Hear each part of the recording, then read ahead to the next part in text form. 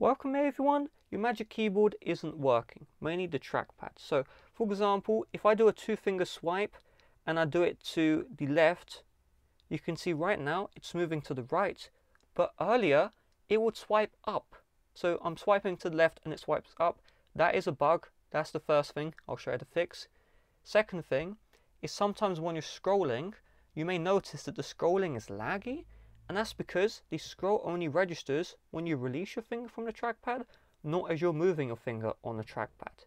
Uh, so in order to fix this issue, uh, the first thing I want you to try, is a very simple uh, fix. This will work for 25% of people, uh, but it's a very simple one. You just want to disconnect your iPad from the Magic Keyboard, just like this, and connect it again.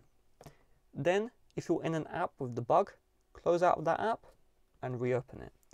That should fix the issue where the scrolling is glitchy uh, in the sense of, you know, it feels laggy, it only scrolls when you release. Uh, if that doesn't fix it, and of course, uh, if you still have the issue where you're sliding to the left, but it slides up or down, like really weird, then this is the solution. So we need to initiate a force restart. The software that launched with this iPad should not have launched at all. Um, I've had so many crashes. You can watch my Magic Keyboard Folio tutorial next. Crash, crash, crash. it's shocking. So in order to initiate the force restart, you're going to see, uh, what I'm going to do is I'm going to disconnect from the keyboard case. You can keep connected, but I just need to show the process, right? So you need to click and release volume up, then click and release volume down, then click and hold the power button and keep this one held down until you see the Apple logo. So don't go and do this right now. Let's do this together so you can get this done. So we're going to start in three, two, one. Click release volume up, click release volume down, and I accidentally clicked the power button. So I'm to have to try again.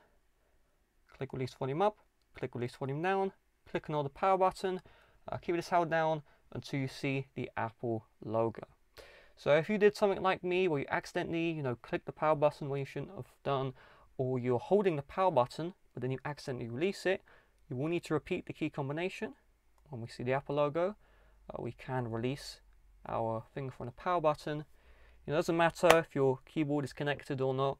Once the operating system has restarted, temporarily or for hopefully for good, the issue should be solved. But I do recommend you do the following. So let's unlock the iPad and you want to open up the settings and you're going to find where it says general and you're going to tap on software update.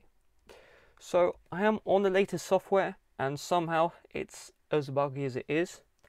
But in the future, there's going to be new softwares released for the iPad. And when that happens, hopefully these bugs will go away. I'm just shocked. Like I was recording a tutorial on how to use this Magic Keyboard Folio, which is in the description. It's an incredible tutorial. You're going to learn everything. But I had probably 10 crashes in the video. I don't know how many crashes I'll show because I'm going to cut most of it out. But it was crazy. I had the keyboard issue, which I showed you how to fix. That fix was shown live in that video. If you're you know, thinking I'm a liar, no, it does work. And with that being said, thanks for watching. Hopefully your Magic Keyboard Folio is fixed. This also works on regular Magic Keyboard as well. Bye-bye.